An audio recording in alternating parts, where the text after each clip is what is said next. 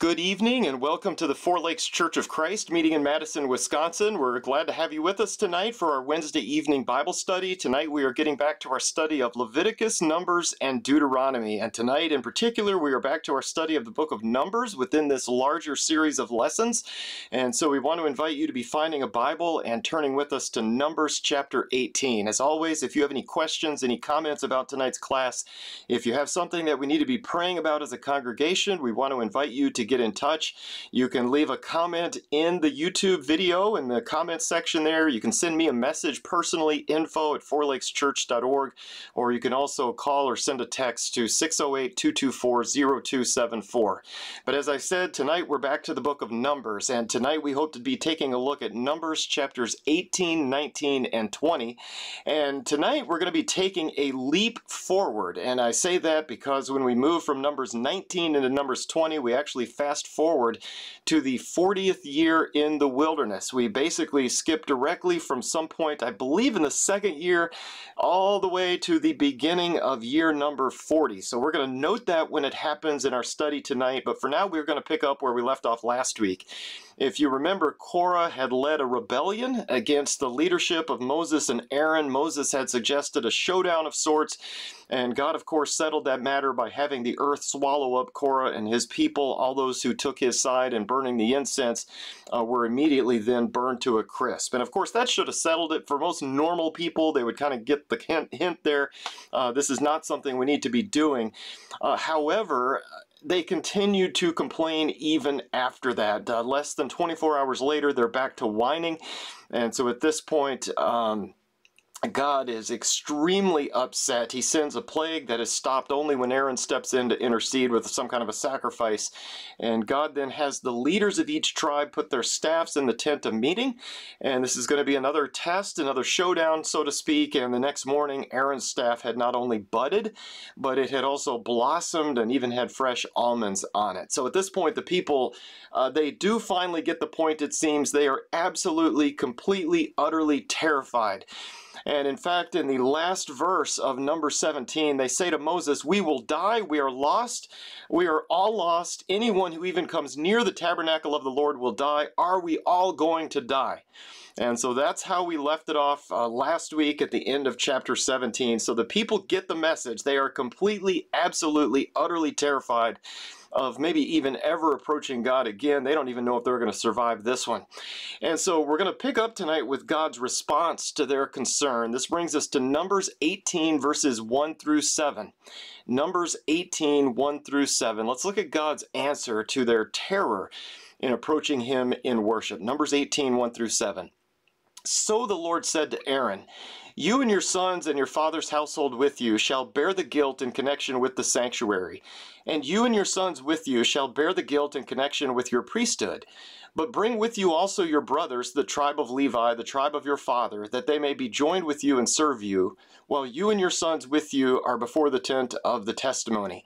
And they shall thus attend to your obligation and the obligation of all the tent, but they shall not come near to the furnishings of the sanctuary and the altar or both they and you will die.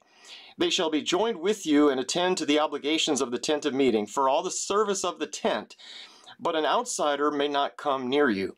So you shall attend to the obligations of the sanctuary and the obligations of the altar, so that there will no longer be wrath on the sons of Israel.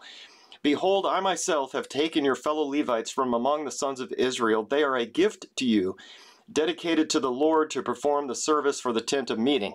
But you and your sons with you shall attend to your priesthood for everything concerning the altar and inside the veil and you are to perform service.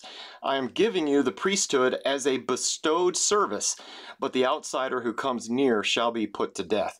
Now, if I've understood this correctly, it seems to me as if God, in response to the rebellion, puts an even tighter restriction on who can serve in the tabernacle itself. So, again, if I've understood this correctly, now it's not just the Levites, but it is Aaron and his immediate descendants in particular.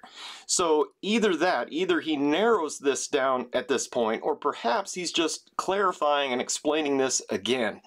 But whichever the case may be, he is very clear now that not just any Levite, but only certain Levites are allowed to serve inside the tabernacle itself, and anybody else who comes inside that veil and tries to serve will die. So, in a sense, then, when the people are terrified at the end of chapter 17, God responds pretty much by saying, You should be terrified. So he doesn't say, No, you misunderstood. It's not really that big of a deal. Worship isn't uh, as scary as you think it is. No, it is. And as we learned back in Leviticus, worship is dangerous. And he simply repeats this here, and instead of loosening up, he actually gives them more restrictions, uh, more protections, we might say, to keep them alive as they go forward. Well, we won't read all of it word for word since we're doing something of an overview here. We don't want to get bogged down in numbers. But in the rest of this chapter, God now speaks to Aaron directly and he explains the offerings that come in are to belong to Aaron and to his sons and to his daughters. And, and God points out in the rest of this chapter that the offerings that are brought in are Aaron's share. If you remember, the other tribes would all be given land, but the Levites were not to be given land. They were the priests, and since they would be serving uh, all of the other tribes, the Levites were to make their living off of the sacrifices that the people would bring to the Lord. And so the Levites would be given the finest olive oil, the finest of the wine and the grain, the first fruits of the harvest and the crops and so on. And this was to be their payment for serving as priests. This is how they would make a living. This was to be their inheritance. This was to be their portion from the Lord. And this was something that was given to them that the other tribes didn't have because the other tribes had land and, and they actually had farms and they were to be given um, you know flocks and herds and all of that uh, if you remember hundreds of years after this hundreds of years later the prophet Jeremiah was actually a priest. He was a Levitical priest.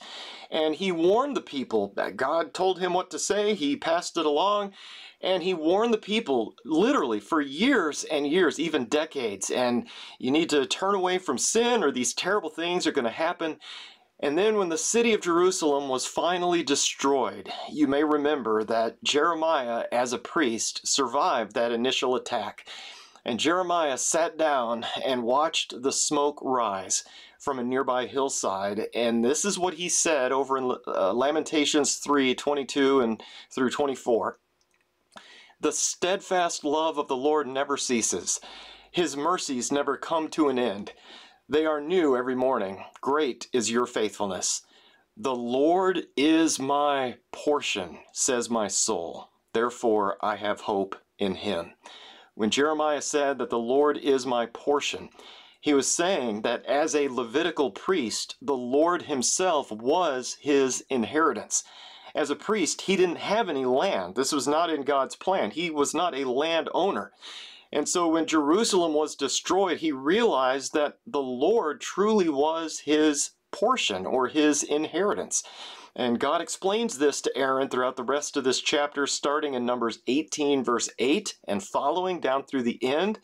So instead of a portion of land, God Himself was the inheritance that would be given to the Levites on an ongoing basis as the people brought the best of the best to God. They were actually bringing these things to the Levites which was to pay them for their service in the temple and to pay them for their intercession, for going to God on their behalf. That was their job, that was their work, and they were paid.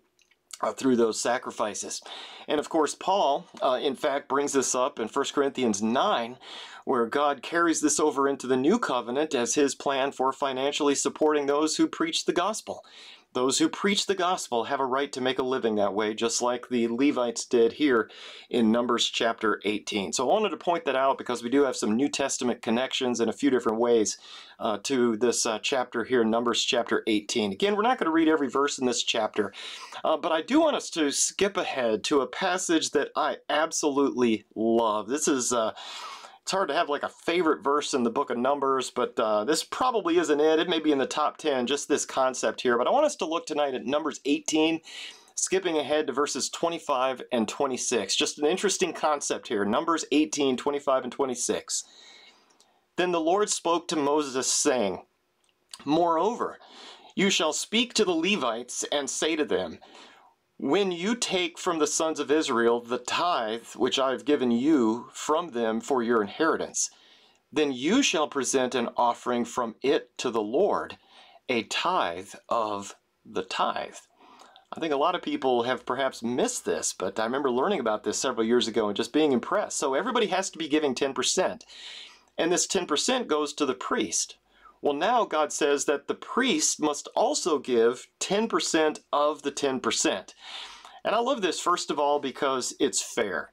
Uh, the priests are not exempt from this. The priests are not exempt from giving themselves. Just because they're on the receiving end of God's mercy and God's blessing through his people, they also have to give. And so they're giving just like everybody else is giving. But secondly, I think God also knows that there is a joy in giving, or at least there should be. I think if we're doing it correctly, obviously there is. And we, we read those verses about um, giving with a cheerful heart uh, over in Second Corinthians chapters 8 and 9. Some uh, wonderful verses there. Eh, but to exempt the Levites from giving, you know, like if this wasn't in there, if God said, no, you don't have to give because you're actually receiving, that would be robbing them of the joy of giving. And I hope we understand that. And I know we're not bound by the 10% rule today. We are to give cheerfully. We are to give in a planned way. We are to give as we've been prospered. We're to give on the first day of every week and so on. We have a number of rules we might say that we need to follow today. Uh, but I am thankful that gospel preachers also get to experience the joy of giving. I think that's a wonderful thing, and uh, I am thankful for that blessing. As most of you know, I am not good at math, so I, I hope you will forgive what I'm about to say. Um, but in my feeble math brain, um, think about it this way instead of giving 10%, instead of telling the priest to give 10%, God could have just had everybody in Israel give 9%, thus lowering the salary of the priests.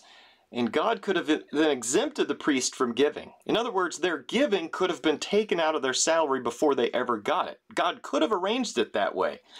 You know, financially, it would have been the same, the same difference, as we sometimes say. However, I do think God knew that there is a value to giving. And so he wanted his priests to experience that. He wanted them to lead by example. And so also today, preachers, even when supported by the congregation, need to be giving appropriately uh, just as everybody else does as well. So I just didn't want us to miss those two verses there because I think it's an interesting uh, application and some principles for us to consider today. So let's continue tonight with Numbers 19 verses 1 through 10. The next paragraph, moving over into chapter 19. Numbers 19, 1 through 10. Then the Lord spoke to Moses and Aaron, saying, This is the statute of the law which the Lord has commanded, saying, Speak to the sons of Israel that they bring you an unblemished red heifer, in which is no defect and on which a yoke has never been placed. You shall give it to Eleazar the priest, and it shall be brought outside the camp and, and be slaughtered in his presence. Next, Eleazar the priest shall take some of its blood with his finger and sprinkle some of its blood toward the front of the tent of meeting seven times.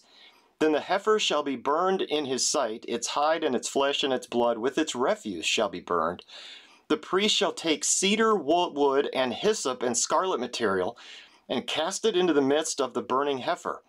The priest shall then wash his clothes and bathe his body in water, and afterward come into the camp, but the priest shall be unclean until evening.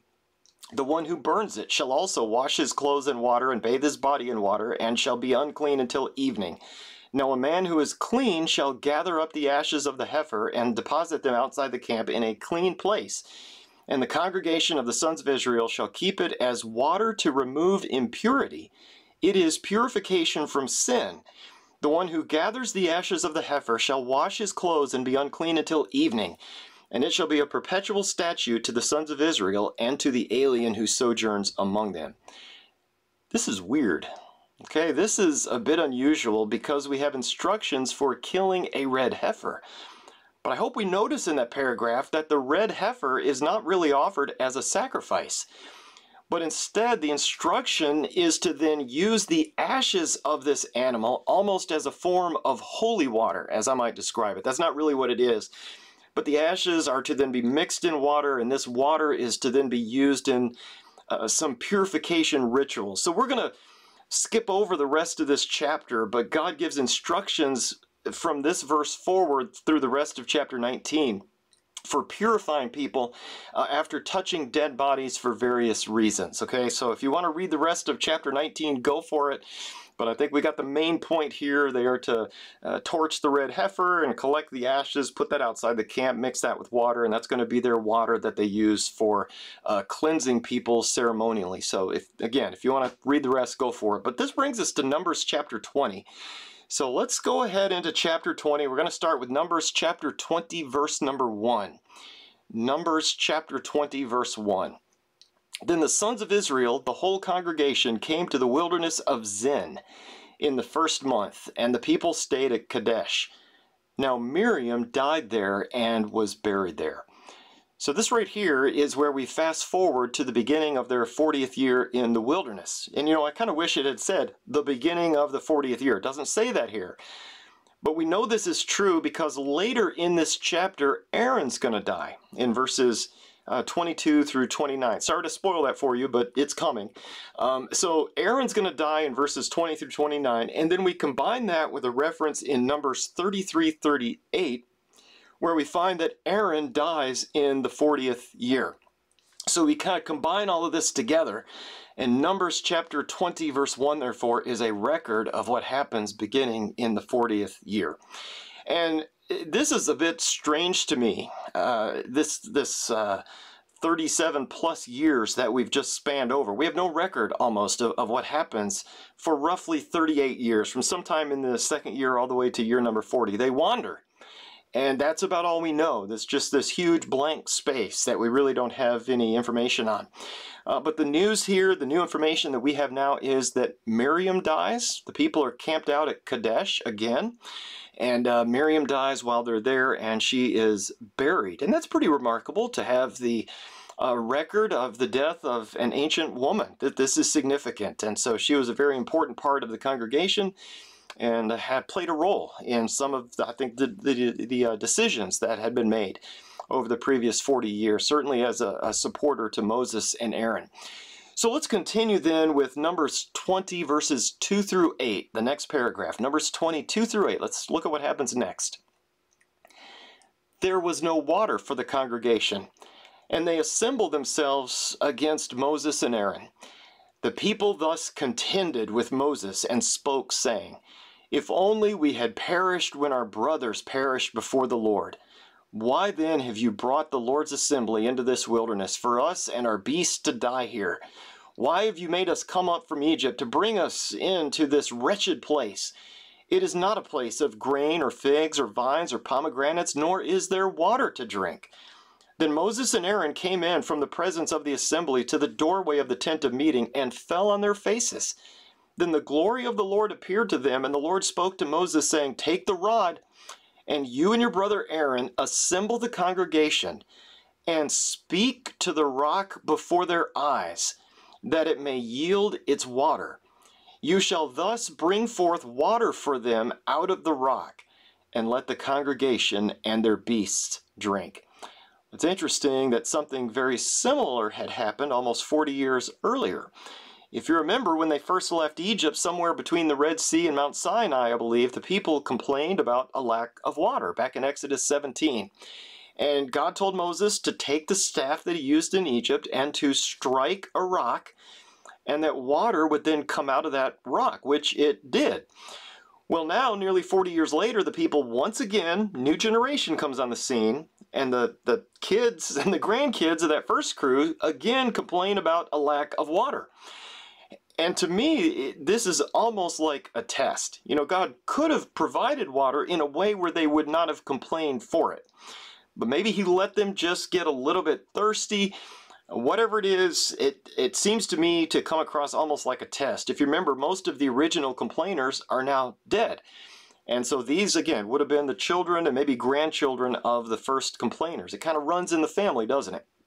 And their complaining sounds very, very familiar. It's almost word for word. So they suggest that Moses just brought these people out in the wilderness so they would die. Absolutely ridiculous. That is not what Moses had in mind. It's almost as if they're still longing for Egypt. Which, by the way, is a place that I think most of these people have never even been. They've only heard about it. So they've been listening to their parents and grandparents talk about how wonderful it was back in Egypt. So Moses and Aaron then, they, they take this to God, and I think that's wise on their part right there. And notice God says, Take your staff and go speak to this rock over there, and water is going to pour out. So that they're familiar with this. They've done something similar before.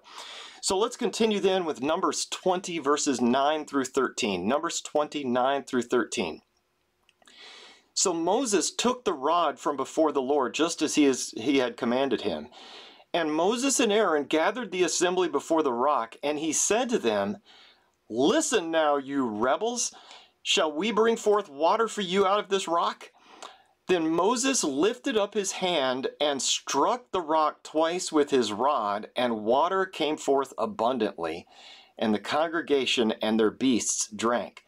But the Lord said to Moses and Aaron, Because you have not believed me to treat me as holy in the sight of the sons of Israel, therefore you shall not bring this assembly into the land which I have given them. Those were the waters of Meribah, because the sons of Israel contended with the Lord, and he proved himself holy among them. All right, so God tells Moses to speak to the rock. However, instead of speaking to the rock as God had instructed, notice Moses almost has an attitude, doesn't he? He's not very humble here. I mean, it's and it's hard to blame him for for having this attitude. I mean, he's now decades older than almost everybody. He's been traveling for 40 years now, and he started this journey when he was 80. Okay, so he's a, an older man. And when he speaks to the people, by the way, that right there, remember God said, speak to the rock, didn't he? Moses doesn't speak to the rock. He, he speaks to the people, and when he speaks to the people, he almost seems a little bit arrogant. Listen now, you rebels. Shall we bring forth water for you out of this rock? And I don't know about you, but to me, he almost seems to be bringing attention to himself, doesn't he? You know, look at what I'm about to do for you people. It almost sounds like a like an arrogant mayor or a governor or a president. You know, I've done this. And look at this thing that I'm going to do for all you people, not realizing that the people put him or her in that position and he or she is spending their money. And so it's kind of a similar arrogant attitude there. And so Moses is, is pointing the attention to himself. And then, of course, instead of speaking to the rock as God had instructed, he not only doesn't speak to it, he speaks to the people instead, and now he strikes the rock, uh, not just once, but twice. And you know, it's interesting to me, and I've kind of thought about this a little bit through the years, that it actually works. If I'm God here, and Moses strikes the rock instead of speaking to it and has that attitude, I'm thinking, um, nope, no water. you guys aren't going to have water today, you know, until you ask nicely next time, until you follow my instructions and so on. But I'm kind of amazed, however, God, He still provides water. I mean, after all, He is merciful. The people do need water. It's not their fault that Moses does this the incorrect way with a bad attitude. But the consequence here falls on Moses and Aaron. They are the ones responsible for this. And so God explains that these two men will not be able to lead the, men, uh, lead the people into the promised land. And note the reason. Because you have not believed me to treat me as holy in the sight of the sons of Israel. Isn't that pretty much the problem that uh, came up earlier with Nadab and Abihu? They failed to treat God as holy. All right, so they forgot they were serving God. And in my mind, eh, they were kind of thinking of their leadership role as if they were leading some secular organization somewhere. Like I'm the CEO, I'm the president or something, you know, I'm the I'm the guy in charge. In reality, these two men should have been trembling before the Lord themselves in this position. But as it is, if I could say this, they got cocky. They started playing fast and loose with it, and they kind of got a little too arrogant, and they they got you know, kind of played fast and loose with the rules and let things slide, and and got arrogant, and God had to uh, had to take a toll in a sense. These men needed to be reminded that God, in fact, is uh, holy as He is. All right, let's continue with the next uh, paragraph, Numbers 20, verses 14 through 22. Numbers 20, 14 through 22. From Kadesh, Moses then sent messengers to the king of Edom. Thus your brother Israel has said, You know the hardship that has befallen us, that our fathers went down to Egypt, and we stayed in Egypt a long time, and the Egyptians treated us and our fathers badly. But when we cried out to the Lord, he heard our voice and sent an angel and brought us out from Egypt. Now behold, we are at Kadesh, a town on the edge of your territory. Please let us pass through your land. We will not pass through field or through vineyard. We will not even drink water from a well. We will go along the king's highway, not turning to the right or left until we pass through your territory. Edom, however, said to him, You shall not pass through us, or I will come out with the sword against you. Again, the sons of Israel said to him, We will go up by the highway, and if I and my livestock do drink any of your water, then I will pay its price. Let me only pass through on my feet, nothing else. But he said, You shall not pass through. And Edom came out against him with a heavy force and with a strong hand. Thus Edom refused to allow Israel to pass through his territory, so Israel turned away from him.